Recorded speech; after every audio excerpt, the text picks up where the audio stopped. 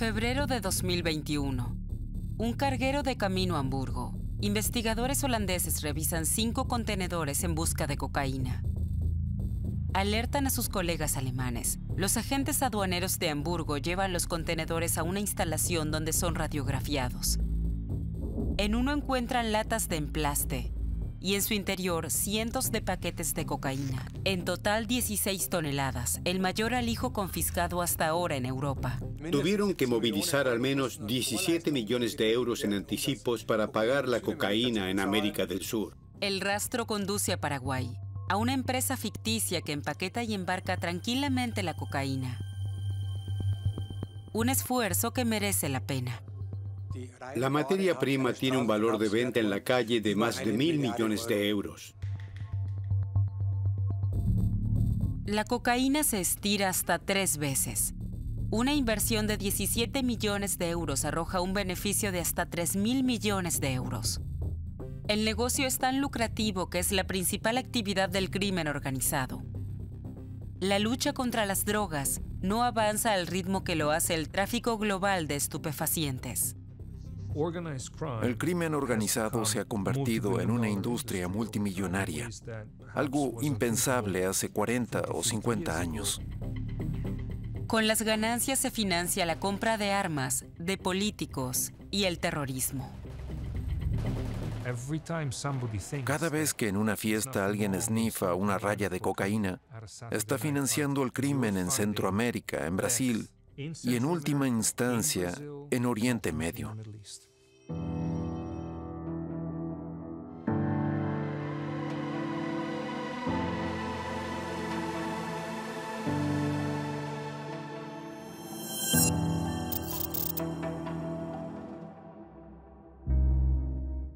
Octubre de 2018 en Hamburgo. El fiscal general Wolfgang Solnar quiere asestar un golpe al crimen organizado, desarticulando una banda de traficantes de marihuana.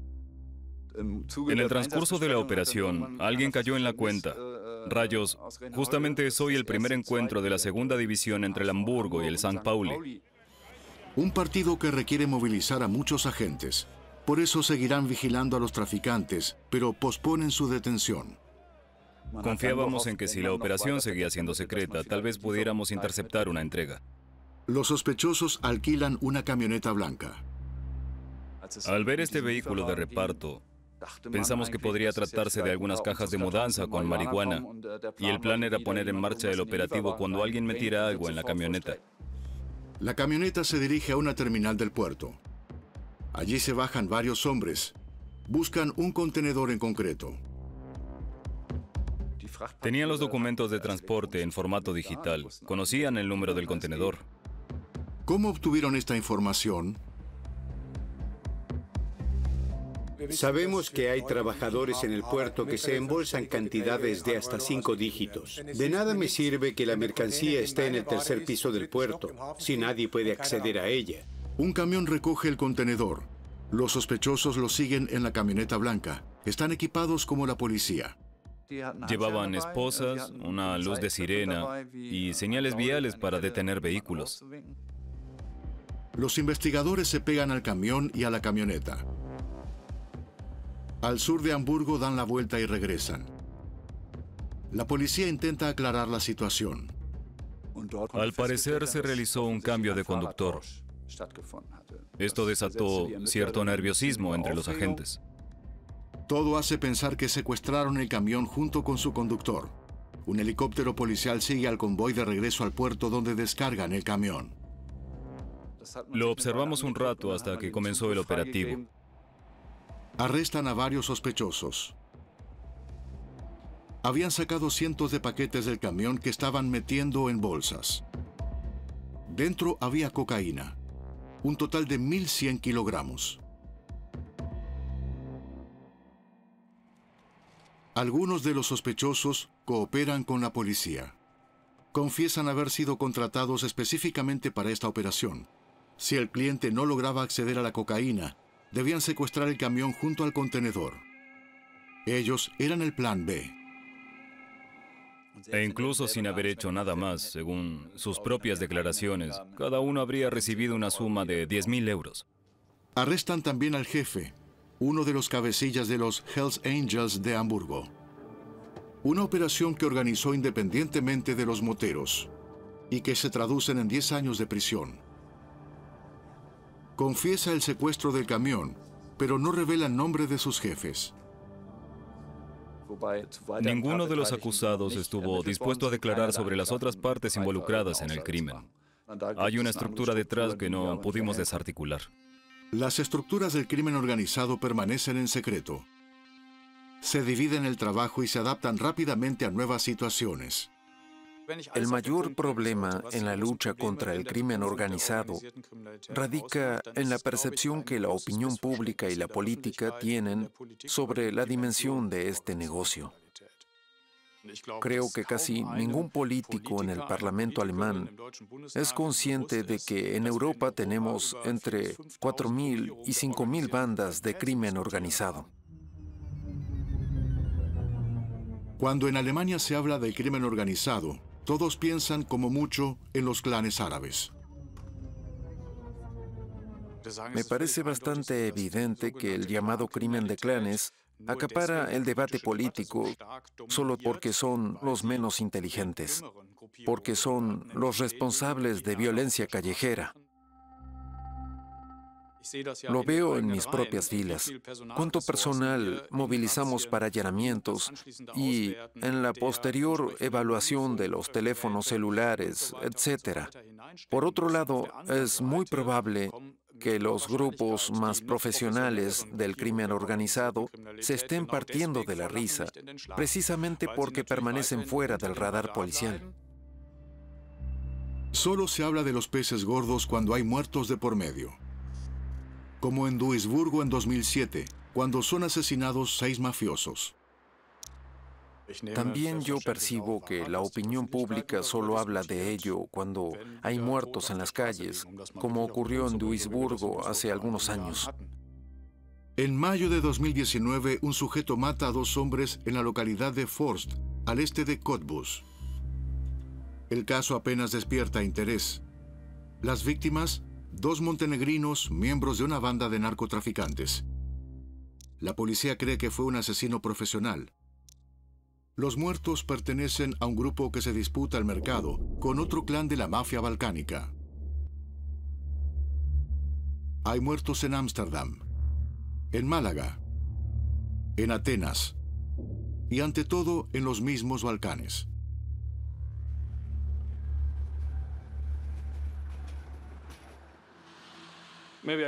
Puedo parecer joven, pero llevo 12 años en esto, trabajando como periodista de investigación. Nos muestra la escena del crimen. Aquí fue asesinado un hombre, miembro de uno de los clanes del narco de la ciudad de Kotor, en Montenegro. Cuando entra en el garage, aparecen dos hombres que disparan a la víctima. En el coche con él hay una agente que resultó ilesa. La policía serbia está involucrada en las guerras criminales.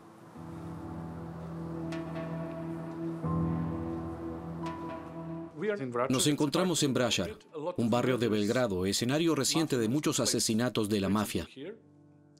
Un barrio adinerado donde muchos criminales compran casas.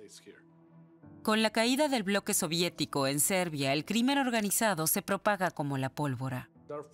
Nuestro primer líder democrático que derrocó a Milosevic fue asesinado en 2003 por una banda criminal. También traficaba drogas y se había infiltrado en el servicio secreto.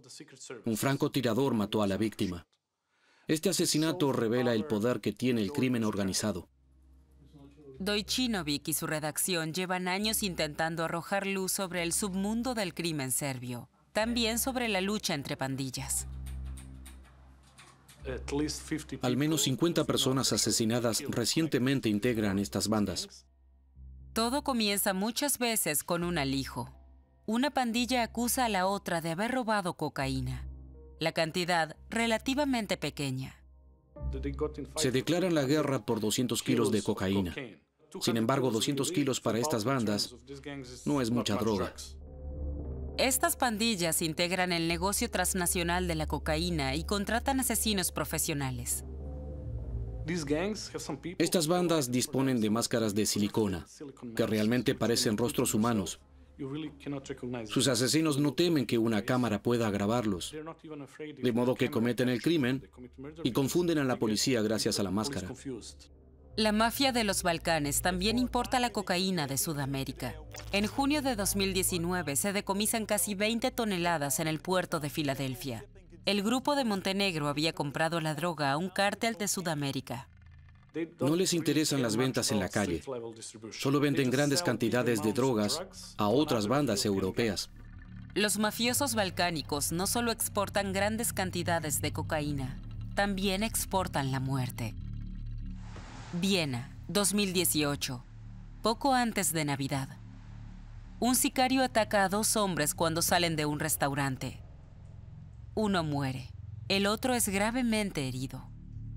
Los hombres pertenecen a un clan serbio con los que se disputan el negocio. Una vez más, el autor no deja rastro. Tres años después, las muertes siguen sin resolverse y los asesinatos continúan. Naciones Unidas tiene a sus especialistas en Viena. La italiana Angela Mee lleva años investigando el poder y el peligro de los cárteles. Juegan con ventaja porque no tienen que rendirle cuentas a nadie, a diferencia de los gobiernos que tienen que responder ante el pueblo y actuar de acuerdo con ciertos estándares. Los criminales no conocen estos estándares. Emplean cualquier método para controlar su territorio, no solo la violencia, eso los hace más fuertes. Y ningún gobierno puede detenerlos. Estados Unidos busca ponerle fin a ese poder. Richard Nixon comenzó en 1971. We must wage what I have called total war against public enemy number one in the United States, the problem of dangerous drugs. La superpotencia declara la guerra contra las drogas. Colombia es uno de los campos de batalla. Estados Unidos envía soldados y dinero, persiguen a los traficantes, fumigan los campos de cocaína, queman las cosechas, sin embargo, 50 años de lucha no logran terminar con el negocio.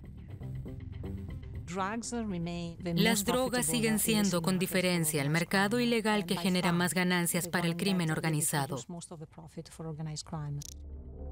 El crimen organizado mueve hasta 2 billones de dólares al año y 700 mil millones proceden del narcotráfico.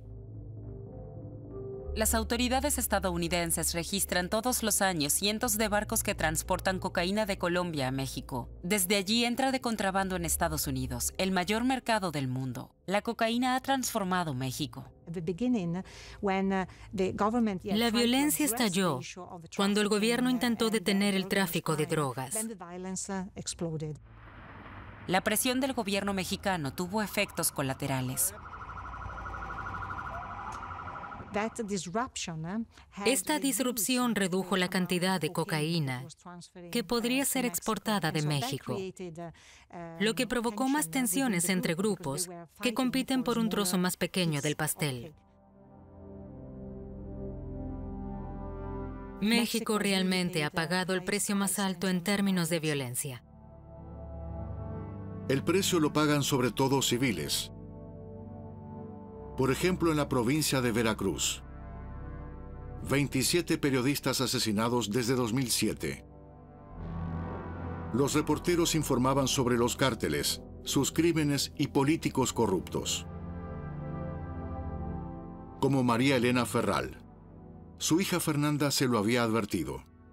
Yo desde que tengo seis años, mi madre pues ya había recibido este una, una amenaza. Tuvimos escoltas durante 14 años y ella siempre me, pues me preparó para, por si algo le pasaba. Pese a las amenazas, su madre continúa criticando a un político local corrupto. En marzo de 2020 le disparan delante de su auto. Hay protestas en las calles. Protestas que duran poco. Su hija Fernanda también cuenta con guardaespaldas, pero quiere recoger el legado de su madre. Completamente, para empezar me sacaron de, de mi casa, de mi zona, de donde yo trabajaba, de donde pasé toda la parte de mi vida. y pues me afecta más ahorita porque no puedo decir en dónde estoy, pero pues aquí no puedo hacer nada, ya no puedo estar trabajando como periodista. Cuando Fernanda visita junto con su hermano el viejo hogar, le esperan asesinos a sueldo. Yo venía de regreso de Papantla. Te fui porque un día antes había sido el cumpleaños de mi mamá y fui al panteón a visitarla. Una camioneta se le intentó cerrar al coche donde yo venía y empezaron a disparar. No pude ver más porque a mí mis escoltas me, me agacharon. Sigue conviviendo con el miedo. Las personas que encargaron el asesinato de su madre están en libertad. En el verano de 2021, Fernanda se postula como candidata para el Parlamento mexicano. Llama la atención sobre las familias de las víctimas. 125 mil personas han muerto en México en la guerra del narco desde 2006.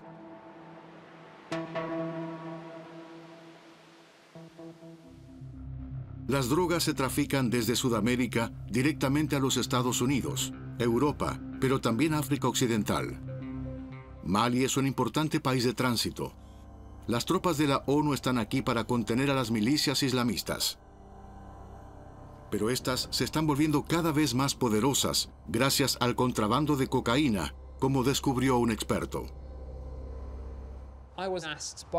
Naciones Unidas me pidió que liderara la investigación. Descubrimos que la mayoría de los grupos criminales que operan en América Latina e intentan traer cocaína a Europa tienen que utilizar para ello las rutas comerciales que pasan por África.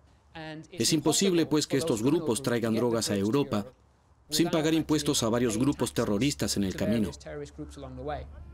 Los grupos afines a Al Qaeda ganan dinero con el tráfico de drogas en África Occidental. La policía sencillamente mira a otro lado, porque obtienen mucho dinero de estos grupos. En ciertas partes del mundo estos grupos constituyen el verdadero poder. Hemos llegado a un punto en el que no está claro cómo frenar este proceso. La misión de la ONU se vuelve más difícil. El ejército alemán en Mali es objeto de un atentado en verano de 2021. También en África Oriental los terroristas se lucran con el tráfico de drogas. Aquí no se trata de cocaína, sino de heroína de Afganistán, de camino a Europa. En el Mediterráneo se intercepta también a traficantes de drogas. Las autoridades italianas incautaron en junio de 2020 un cargamento de Captagón, una droga sintética enviada por Estado Islámico. Su valor en la calle, mil millones de euros. Un analista y ex policía de Irlanda del Norte sabe lo explosiva que es la combinación del narcotráfico y el terrorismo. Cuando tenía 11 o 12 años, estaba parado en una tienda con mi padre un sábado por la mañana, cuando de pronto saltaron los cristales por los aires. Hubo un gran estruendo. Salimos a la calle. Había muertos en el piso. El ejército británico lleva décadas luchando en Irlanda del Norte contra el grupo terrorista del IRA, que se financia a través del crimen organizado. Como policía en Gran Bretaña y luego en Europol, en La Haya, seguí encontrando evidencia sobre la conexión entre la delincuencia organizada y los terroristas. Esta siempre ha existido.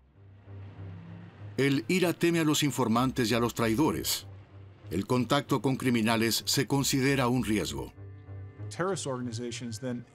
Las organizaciones terroristas se parapetan ante cualquier riesgo. De modo que sus miembros tienen que averiguar por sí mismos cómo organizar sobornos, secuestros o comerciar con drogas. El IRA se presenta como un poder político y moral. Un subgrupo lucha incluso contra los narcotraficantes, de cara a la galería. La realidad es que el IRA trafica con cocaína a gran escala. Hace 20 años se dio por terminado el sangriento conflicto en Irlanda del Norte. En 1998, Tony Blair negocia con el IRA el denominado Acuerdo de Viernes Santo.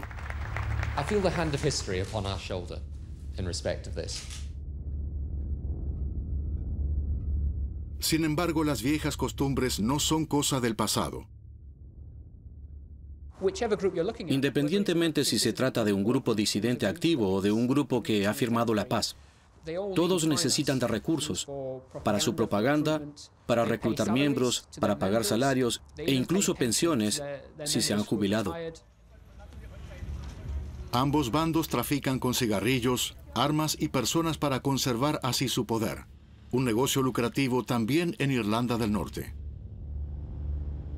Para garantizar su supervivencia, todos estos grupos continúan activos en el crimen organizado, no solo en el Reino Unido o Europa, sino en todo el mundo. Hemos descubierto vínculos entre grupos paramilitares en Irlanda del Norte y Oriente Medio. Se trataba de blanqueo de capitales. Un concesionario de autos usados a las afueras de Düsseldorf un ciudadano nacido en el Líbano dirige el modesto negocio, en el que se lavan cientos de miles de euros. Hasta su arresto en noviembre de 2018, es una figura clave en el lavado de dinero.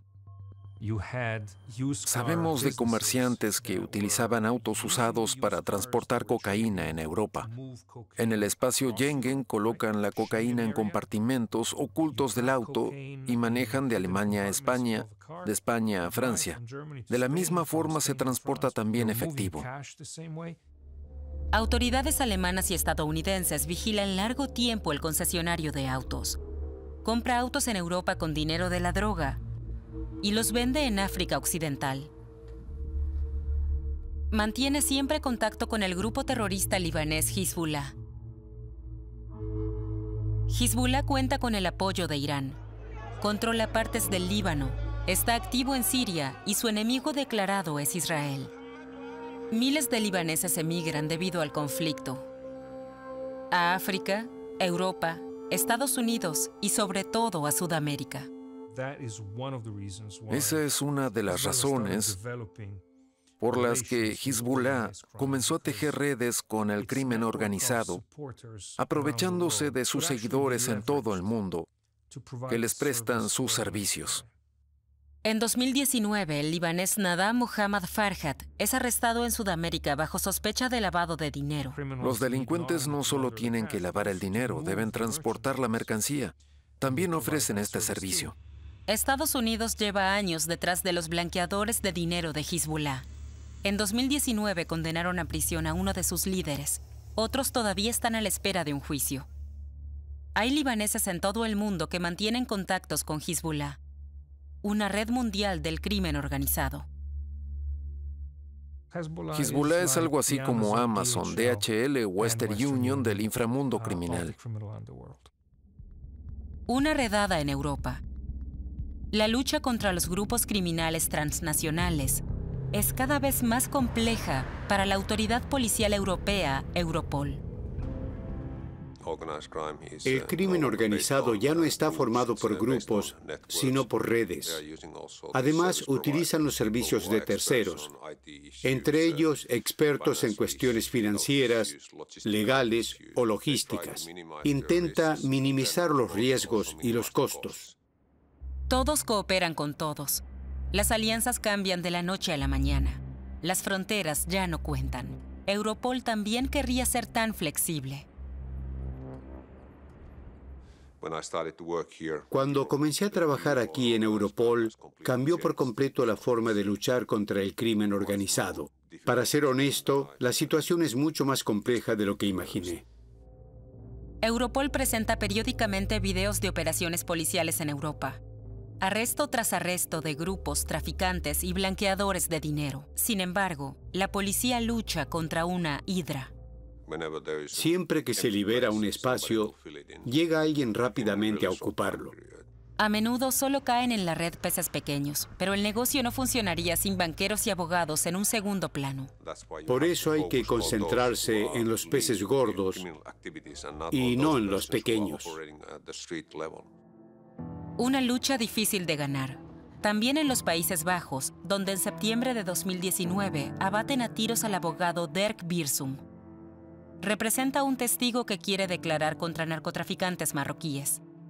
Dieciocho meses más tarde, es asesinado en Ámsterdam el periodista Peter de Vries. Asesora al mismo testigo. Detrás está el negocio de la coca. Deberíamos admitir que el crimen organizado es una amenaza cada vez mayor para la Unión Europea y la sociedad en su conjunto. Tenemos que actuar ahora, antes de que sea demasiado tarde. El Tribunal Superior de Justicia de Düsseldorf se enfrenta a un complejo proceso.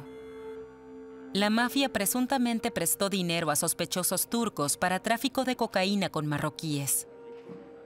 La fiscalía se vale de agentes encubiertos. Los traficantes al final de la cadena ganan 5.000 euros por kilo. Son parte de una economía internacional en la sombra, inmune ante la justicia alemana. En ningún momento logramos asestarle un golpe real al crimen organizado. Para ello, deberíamos fijar también objetivos políticos. Los resultados podrían medirse si nos fijáramos ese tipo de metas. Hace décadas que hay clanes criminales activos en Alemania. Por ejemplo, la Drangheta italiana.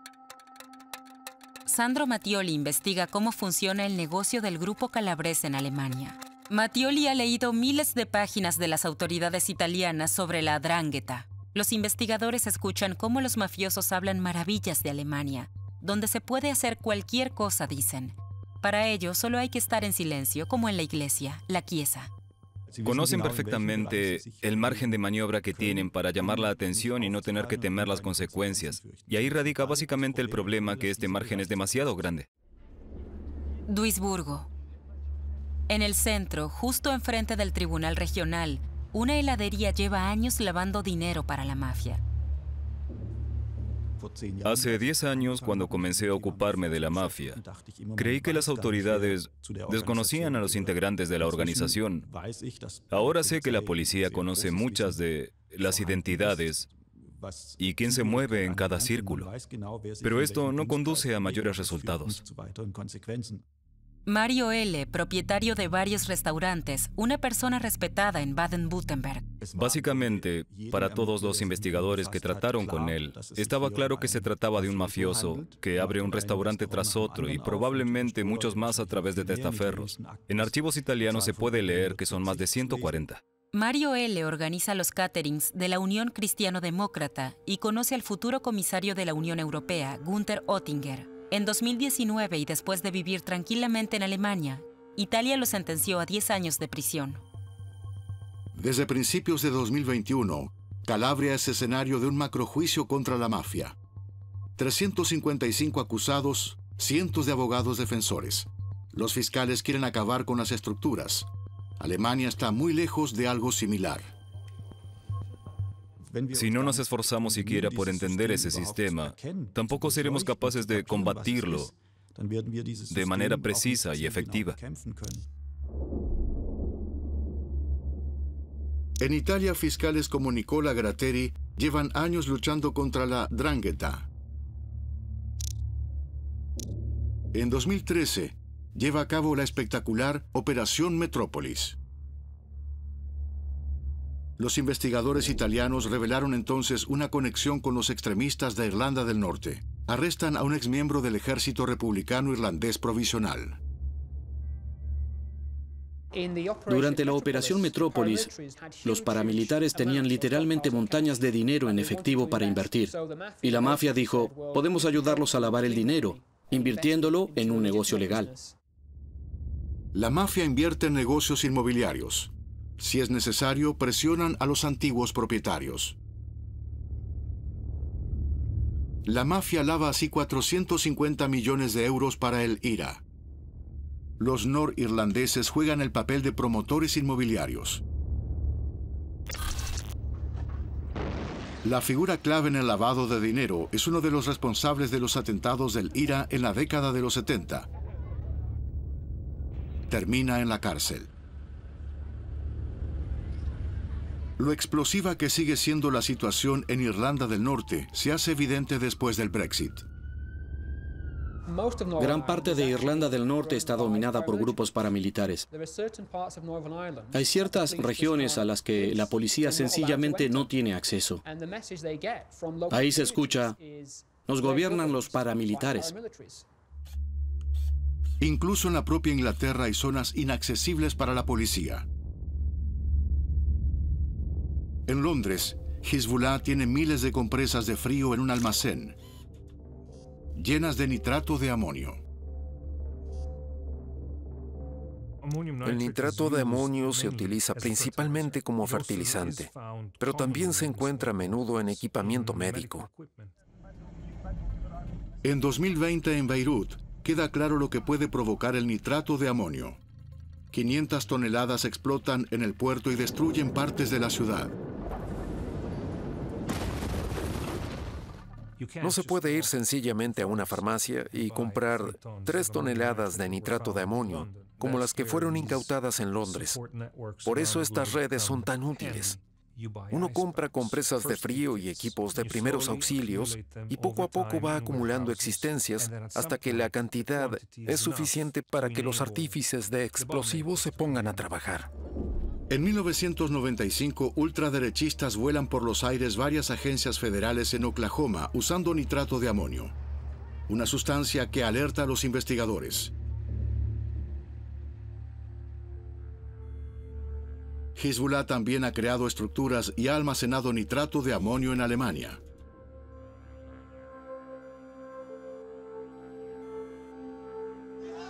En 2020 también se prohíbe Hezbollah en Alemania.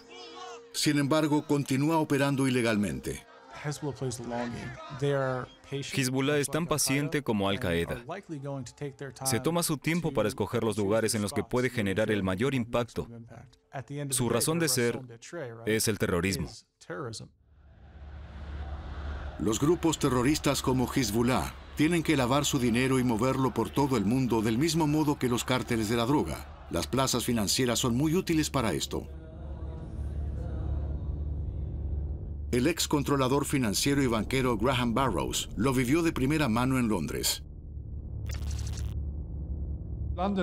Londres es la tormenta perfecta. El sistema legal y las estructuras corporativas adecuadas que ofrecen muchas posibilidades para lavar dinero. Hay empresas cuyo único fin es mover dinero alrededor del mundo. El 80% del comercio mundial se realiza en dólares. Por lo tanto, unos pocos grandes bancos desempeñan un papel clave. Son los únicos que tienen licencia para inyectar dólares en el sistema financiero. Es el caso del Deutsche Bank. Tenían en sus libros una serie de negocios que servían para mover dinero sucio. Este era transferido a otras ubicaciones seguras a través del Deutsche Bank. El banco FBME del Líbano es uno de estos clientes. El Deutsche Bank inyectó 618 mil millones de dólares en el mercado financiero, según constató la Autoridad de Supervisión de Nueva York en junio de 2020. Gran parte del dinero procede de grupos terroristas y cárteles de la droga. Existe una red global de empresas, bancos y agentes bursátiles que ofrecen estos servicios a cualquiera en la economía criminal, ya sea a través del crimen organizado, corrupción o financiando el terrorismo. La crisis financiera revela por qué muchas autoridades fiscales actúan solo a medias contra estas estructuras. La economía mundial depende demasiado del dinero sucio.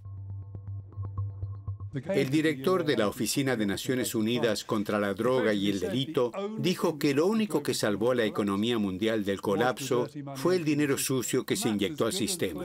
Eso deja muy claro lo importante que es este dinero para la economía mundial no ha cambiado mucho en términos de dependencia. Cada año se generan ilegalmente hasta 3 billones de euros. Esto equivale al Producto Interno de Alemania y por ende hasta el 3% del Producto Bruto Mundial.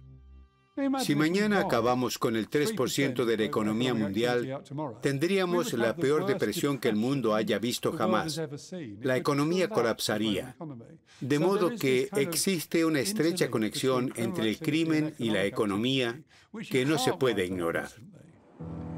Praga, República Checa, miembro de la Unión Europea. Al igual que la vecina Eslovaquia, se considera en manos del crimen organizado.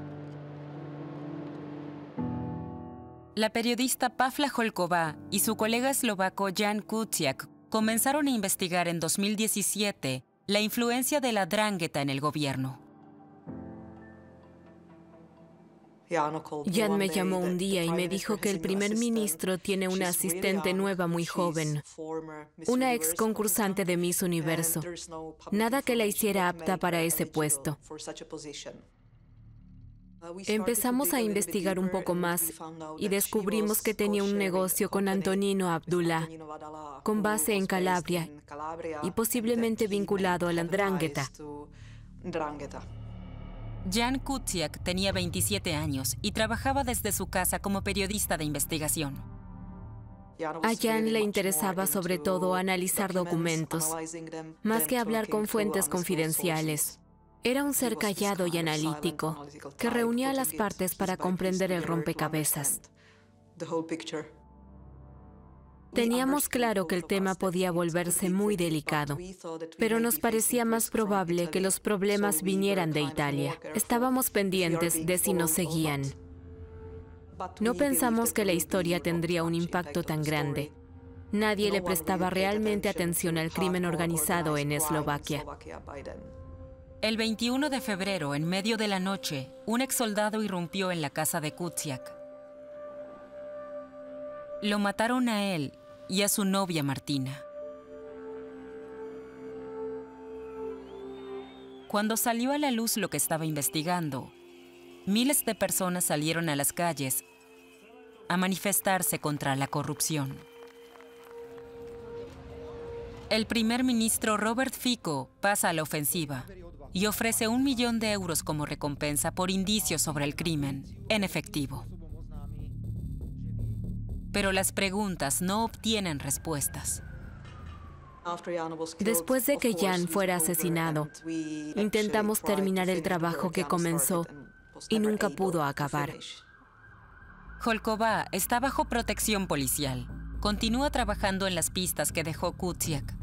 El reportero había investigado principalmente a un conocido empresario eslovaco, Marian Kochner.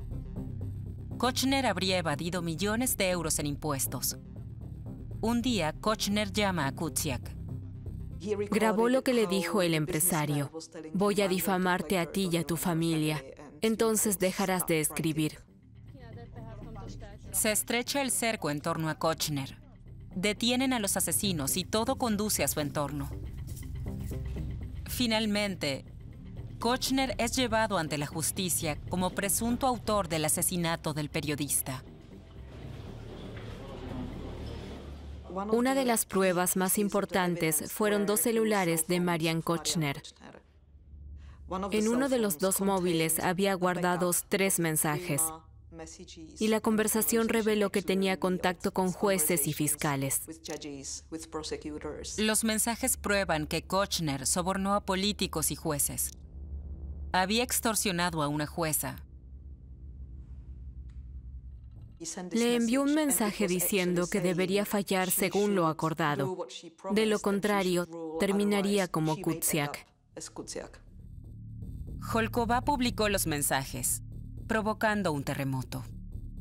Detuvieron a 21 magistrados. No recuerdo algo parecido en ningún otro país europeo. También es arrestado el ex jefe de policía que investigaba el caso Kutsiak bajo sospecha de corrupción. Fueron acusados de liderar un grupo criminal organizado. Pero Marian Kochner fue absuelto. Un shock para los familiares de las víctimas. Más tarde, en la primavera de 2021, la Corte Suprema reabre el juicio. Eslovaquia en manos del crimen organizado. Con su decisión de matar a un periodista, Marian Kochner destruyó un sistema que había funcionado durante 12 años. Antes del asesinato, difícilmente imaginamos que el sistema pudiera cambiar. Sencillamente estaba demasiado arraigado en la sociedad. Malta. Cuando esta pequeña isla se unió a la Unión Europea en 2004, cambiaron muchas cosas. Malta se convierte en puerta de entrada para criminales. Un tema para la reportera Daphne Caruana Galizia. Recuerda a su hermana. Ella cubría la política en Malta. Se topó entonces con el crimen transnacional. La última frase que escribe su hermana dice, Gangsters en todas partes. La situación es desesperante. A veces me desespero porque tengo la sensación de que los criminales se salen con la suya. Caruana Galizia es objeto de amenazas y agresiones durante años. Al final estaba aislada. Fue víctima de una larga e intensa campaña de difamación. Estaba bien visto que la gente bromeara, diciendo que cualquier día la asesinarían. Cuando la mataron, fue un shock, pero no una sorpresa. Asesinos a sueldo siguen a la periodista y vuelan su auto por los aires.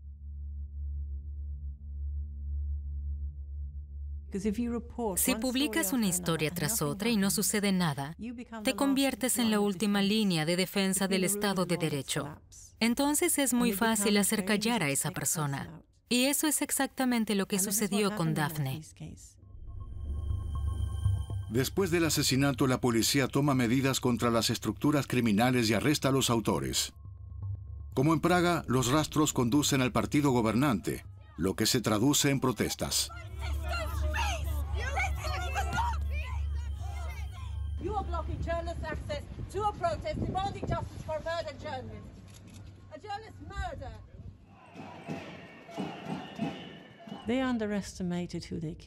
Subestimaron a quien habían matado. El presunto autor del asesinato fue arrestado a finales de 2019, cuando huía con su yate. Cuatro años después del asesinato aún no hay sentencia. La familia de la víctima sigue luchando por obtener justicia.